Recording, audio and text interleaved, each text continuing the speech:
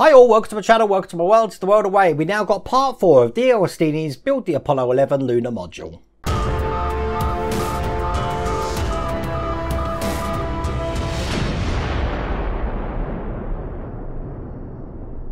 Now remember, this is just a trial. This trial came out in December 2018 in the UK and we haven't seen sight nor hair of it since. There's only one more issue of this uh, in the trial and then it stops. So who knows if it's ever going to get a release. Uh, let's just show you the magazine. In this one, we're going to be doing a little bit of the landing gear here. Now, if I show you some of the parts, look, this landing gear here is metal.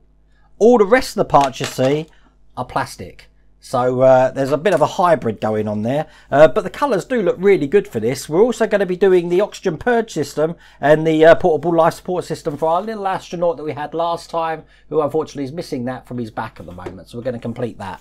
Uh, so quite simply, we're just going to be pushing some parts. We don't need any glue or screwdrivers for this, and they're going to be going in quite simply just like that.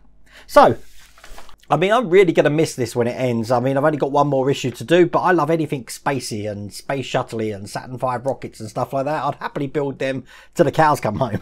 anyway, without further ado, let's get cracking. Okay, so the first section we take looks just like that, and this is metal. Uh, all the other parts that we're going to be attaching, like these parts here, are plastic. So we've got a little hybrid going on there. Uh, but it is important to note these two ends. We've got one end which has got this little angle on, like that and then the other end which has got like a straight section like a hexagonal head to it. Uh, it's this hexagonal side here which is going to be basically having the first piece put onto it. So we're going to have the silver part which will be going towards the top of this because this is where the lunar module would sit on top over here. Uh, now there is a way around it needs to go. If you have a look closely at this we've got a band a blank band that needs to go furthest away from this end here so when we put it in, it's only slats, as I said, so you've pretty much got free reign where you put these in. I'm just going to put it in where it goes and then push it down. So it's a nice tight fit there. That's how that looks. Now, as you can see, we've got a little section here, which is where this gold section is going to go. Now, I've been racking my brains to figure out what way around this goes, and it's very hard to see, but this end has got more of a lip than this end, and I'm guessing gravity would have caused that. So that means it's going to go facing down to this section here. Once again, it's just a case of pushing it in just like that. Simples. okay, now we need to put this into the lunar base, uh, the, the landing gear base, sorry, which looks just like that. Now this is two colours. You've got a gold colour here, not as blingy as the gold you see there, and you've got a dark brown here. But on the other side here, you've got a pin. And basically that pin that I showed you at the start with the angle is just going to go into here, just like pushing it in that. So when it sits, it's going to be sitting just like that.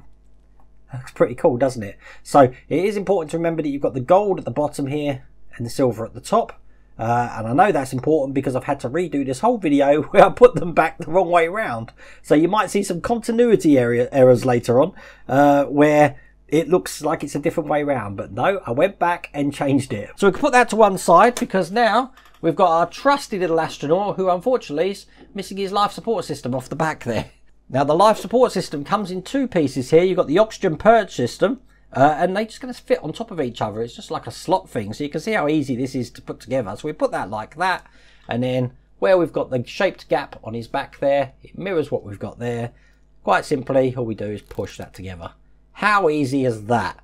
Let's take a little picture of our completed astronaut together and show you what he looks like. He looks really good. In fact, unfortunately, due to that landing gear there, it looks like he's had a catastrophic failure of the mission and he's just given up there by saying, oh, well, it is what it is. Putting his hand up and smiling for a photo. anyway, that's all we had to do in that issue. And uh, if you look here, I have got issue 5, which is the last one, which is going to be some more details. It's the ascent, ascent stage panels, fuel tank support, uh, surface base for the astronaut. That's all we've got in that issue. And uh, that will probably come out next week and that'll be the last one of that series. So hopefully in the future, and when it's 2022, if you're watching this video, we've got a working Apollo 11 lunar module. But who knows, it may never see the light of day. That's what it is with these trials. But at least we know it's a trial before it comes out. And uh, it just doesn't get cancelled halfway through like some other builds that I can mention. TP5.